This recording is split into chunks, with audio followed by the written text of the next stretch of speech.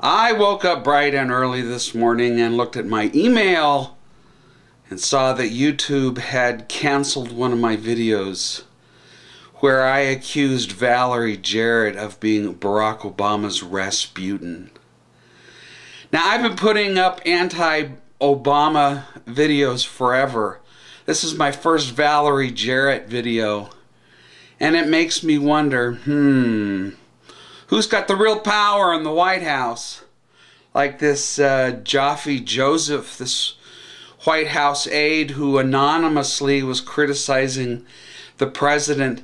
But when he criticized Valerie Jarrett and got caught calling her a vacuous cipher, he was found out and he was fired by this Lady Macbeth. Has the same thing happened here? Dear Valerie, have you been hacking me?